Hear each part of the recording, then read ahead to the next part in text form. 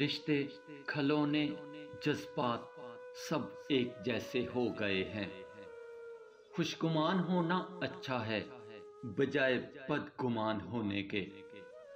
صبر کا درجہ یہ ہے کہ تم اپنے پاک رب کا ہر امتحان خوشی اور اچھے امید سے دو۔ رشتہ نبھانا ہر کسی کے بس کی بات نہیں، یاد رہے کبھی کبھی اپنا دل دکھانا پڑتا ہے کسی اور کی خوشی کے لیے۔ ایسے انسان سے پیار کرو جو آپ کو تب بھی ہنسائے جب آپ مسکرانا بھی نہ چاہتے ہوں۔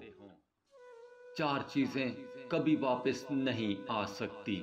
نمبر ایک، وقت جو گزر گیا۔ نمبر دو، لفظ جو منہ سے نکل گیا۔ نمبر تین، بھروسہ۔ جو ایک دفعہ ٹوٹ گیا۔ نمبر چار، موقع، جو ہاتھ سے نکل گیا۔ کسی کو دکھ مت پہنچاؤ، کیونکہ ہر عمل پلٹ کر آتا ہے۔ اگر تم چاہتے ہو کہ تمہیں ہر جگہ کامیابی ملے، تو قرآن پاک کی تلاوت کو روزانہ کا معمول بنا لیں۔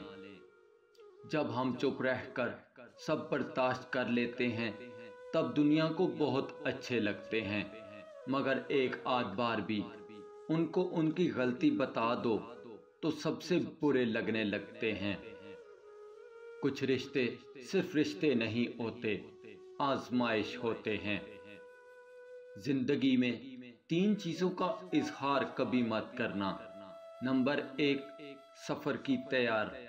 نمبر دو، مال و دولت۔ نمبر تین راہ گزر۔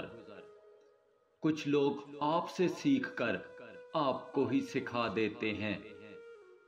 رشتے توڑنے تو نہیں چاہیے، لیکن جہاں قدر نہ ہو، وہاں رشتے نبھانے بھی تو ہرگز نہیں جا سکتے۔ برداشت کے ساتھ حالات ضرور بدل جائیں گے۔ بس ذرا اندر ہی اندر مسکرانے کی ضرورت ہے۔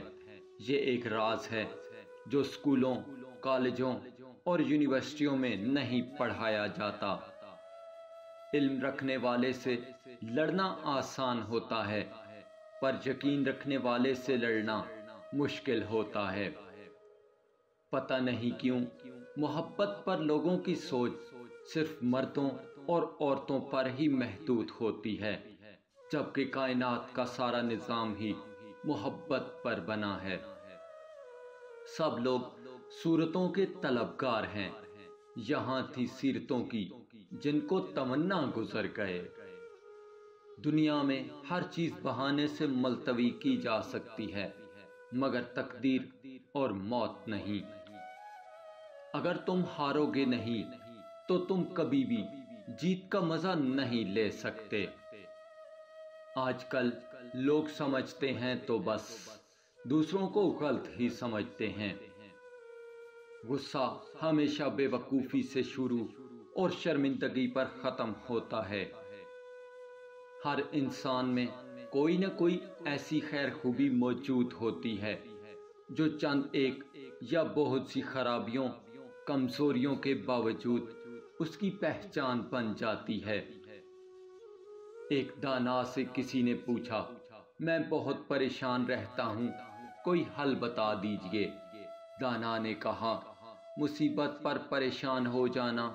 انسان کے انسان ہونے کی دلیل ہے، مگر پریشان رہنا اللہ پر توکل نہ ہونے کی دلیل ہے۔ اس لیے پریشانی کو روگ مت بناؤ، ہمیشہ کامیاب رہو گے کوئی آپ سے محبت لینے آئے تو اسے محبت دینا۔ محبت سکھانے نہ لگ جانا۔ محبت دینے میں محبت ہے، محبت سکھانے میں نہیں۔ بیوی کی خوشیوں اور خواہشوں کا خیال رکھنا شوہر کی ذمہ داری ہے، کیونکہ وہ آپ کے علاوہ کسی کو نہیں کہہ سکتی۔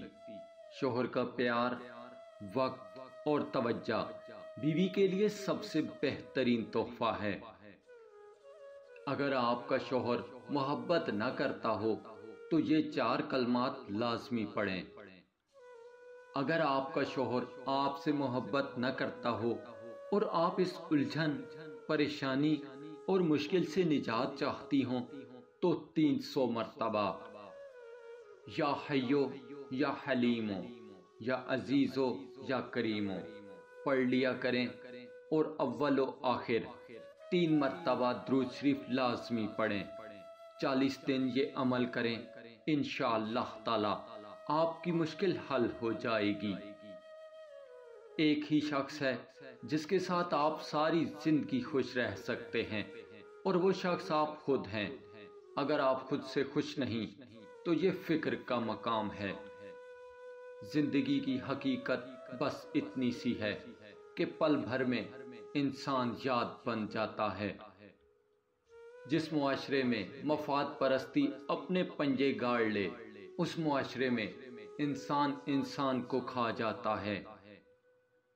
گفتگو ایک ایسا عمل ہے جس کی وجہ سے انسان لوگوں کے دلوں میں اتر جاتا ہے یا لوگوں کے دلوں سے اتر جاتا ہے۔ اگر کسی کی یاد شدت اختیار کرے اور تم اسے کبھی بھلا نہ پاؤ، تو یہ تمہارا کمال نہیں، کمال اس کا ہے، کیونکہ اس کے پیار اور خلوص میں کوئی ملاوٹ نہیں۔ وقت سے سیکھو خود کو بدلنے رہنے کا سبق۔ وقت کبھی خود کو بدلتے نہیں تھکتا۔ خلوص کی کوئی خاص زبان نہیں ہوتی۔ یہ دل میں محسوس ہوتا ہے اور آنکھوں میں جھلکتا ہے۔ پہلی ناکامی سے مت گھبراؤ، کیونکہ یہی تمہارے عروج کی پہلی سیڑھی ہے۔ میں کسی کو کچھ سکھا نہیں سکتا، صرف انہیں سوچنے پر۔ آمادہ کر سکتا ہوں۔ حکمت یہ نہیں ہے کہ کسی بھی قیمت پر مسئلہ حل کیا جائے۔ حکمت یہ ہے کہ مسئلہ کم سے کم قیمت پر حل کیا جائے۔ رشتہ نبھانا ہر کسی کے بس کی بات نہیں۔ یاد رہے کبھی کبھی اپنا دل دکھانا پڑتا ہے کسی اور کی خوشی کے لیے۔ چار چیزیں کبھی واپس نہیں آ سکتی۔ نمبر ایک، وقت، جو گزر گیا۔ نمبر دو، لفظ، جو منہ سے نکل گیا۔ نمبر تین، بھروسہ، جو ایک دفعہ ٹوٹ گیا۔ اور نمبر چار، موقع، جو ہاتھ سے نکل گیا۔ خلوص کی کوئی خاص زبان نہیں ہوتی۔ یہ دل میں محسوس ہوتا ہے اور آنکھوں میں جھلکتا ہے۔ پہلی ناکامی سے کبھی مت گھبراؤ، کیونکہ یہی تمہارے عروج کی پہلی سیڑھی ثابت ہوگی انشاءاللہ تعالی۔